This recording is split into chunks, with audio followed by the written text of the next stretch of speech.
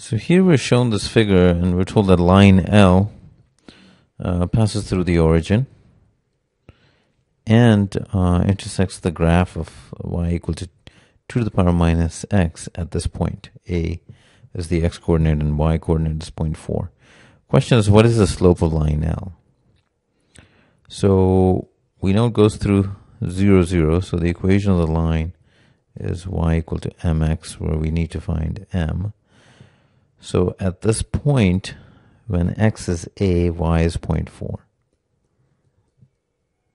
We'll see if this helps. So the other is that we know this point uh, falls on that, which means uh, y is 0.4 uh, when x is a.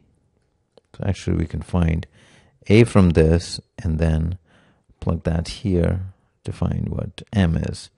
Um, so this is um, 2 to the minus a is 0.4. So this is um, 2 to the a. I can take inverse of both sides. This is uh, 2.5. And to find a, that's log base 2 of 2.5, which is same as log, actually I'm going to do natural log, log 2.5 over natural log of 2. So I'm, I'm changing base here. Um, so I can compute what A is from this. So 2.5 natural log divided by natural log of 2. So this is 1.322.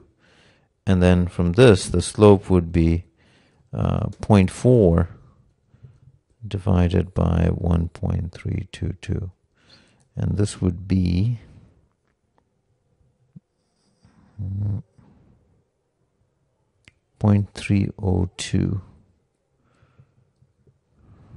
or we can approximate it as 0.303 because that's what we have in the answer choice. So the answer is B.